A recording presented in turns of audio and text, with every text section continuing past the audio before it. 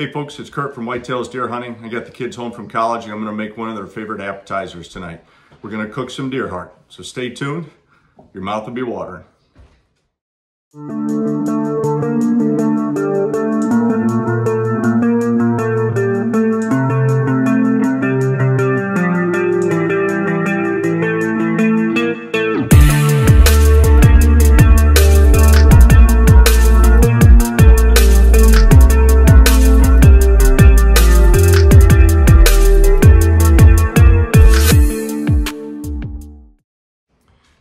Simple to cook, doesn't take any more than about 10 minutes beginning to end. I'm gonna go through the ingredients for you guys first. First of all, I've got a venison heart that's fresh. I got salt, pepper, garlic powder. Got about a quarter stick of butter. If you have a bigger heart, you may want more than that.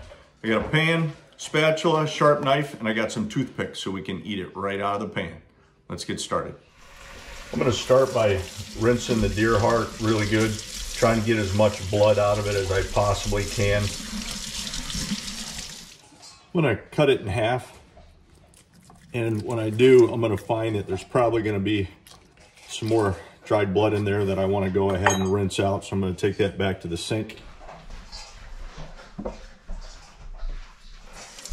And side's not too bad. A little bit of blood in a couple of these chambers right here.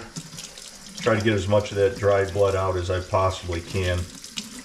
This definitely helps with the flavor a bit not to have that dried blood in there. Got to think steak is muscle, right? And the heart is the strongest muscle in the body. A lot of people don't like the heart. It can't be overcooked, but man, if you cook it right, it is tasty.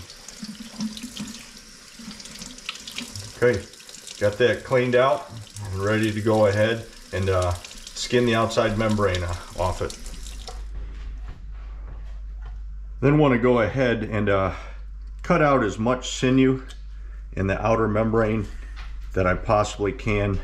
And uh, I'd take a sharp knife and try to get just under the, the membrane and begin to trim that membrane off.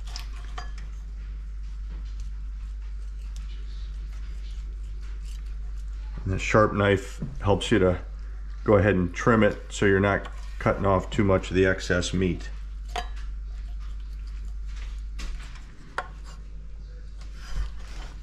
Just take that outside membrane right off of that so it's all meat. Then there's a whole bunch of membranes and sinew that's up at the top of the heart. And then if you look inside, it looks like a spider web of all the sinew that's in there in between the chambers. Got to make sure you get that stuff out. Clean it up in there the best that you can.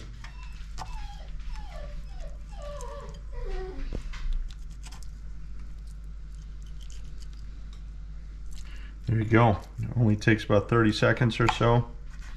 Got all the big pieces of sinew off of there. We're ready to dice it up. So now that I've got all the membrane and sinew taken off of there, I'm gonna go ahead and put some butter in the oven there. Like I said, about a quarter stick for a small heart. If you have a bigger heart, you'll go ahead and use uh, a little bit more butter. And then while that's starting to melt down, I'm gonna go ahead and cut this into cubes or chunks. Not too big, you know, about bite size. This thing's really gonna flash fry down. It's gonna cook pretty quick. Trying to make them fairly close, all to the same size so they cook evenly.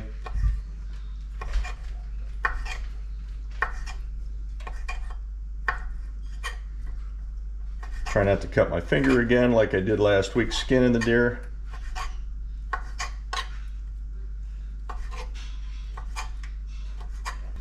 This was just a year and a half old deer, so the heart wasn't huge, but it's still gonna be tasty.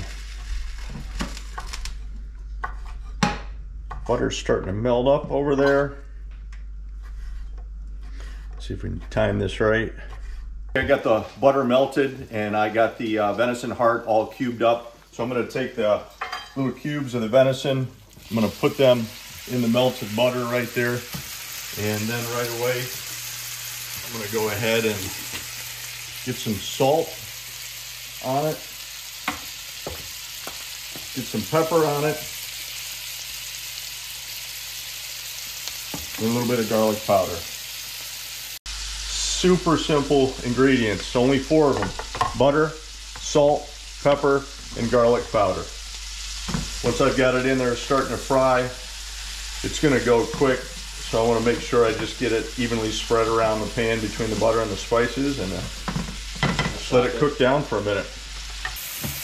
What you're trying to do is just make sure you get all the pink out of it. You don't want to overcook the heart, but you don't want it raw either, so you just got to keep an eye on it. I had to put my damn old man glasses on because I can't see whether or not it's the right color. Usually don't wear them doing this stuff because they reflect off there, but can't see.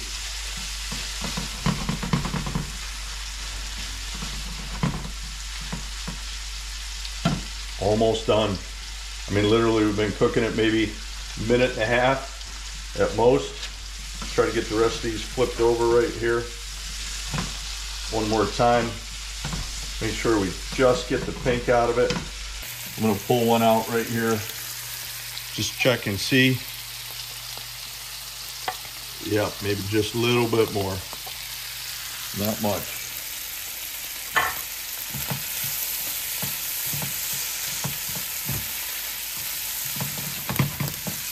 Okay, let that finish up about 30 seconds. It'll be time to get some toothpicks and eat. Okay, they're done. I'm gonna go ahead and I'm gonna shut the burner off. And uh, I'm gonna pull them off of here. Just set it on the cutting board and just uh, let it finish cooking for maybe another 30 seconds or a minute off the burner. Make sure it cools down so we don't burn our tongues off. Then uh, college kids and I are gonna eat some venison heart for dinner. Fresh deer only a week or two ago. So here it is. We've got our venison heart all cooked up. Kids are eating it. Literally all we do is take a toothpick, put it right down in the pan, grab a piece and eat it up. Mm, that's wow. yummy. So good. Real quick recipe, folks. 10 minutes, four ingredients, salt, pepper, garlic powder, and butter. It's our appetizer before we have a little turf and turf tonight. We're having venison heart for dinner, and we're having uh, beef goulash for dinner. This is Kurt from Whitetails Deer Hunting. Hoping you guys have a great night. We'll talk to you soon. See ya.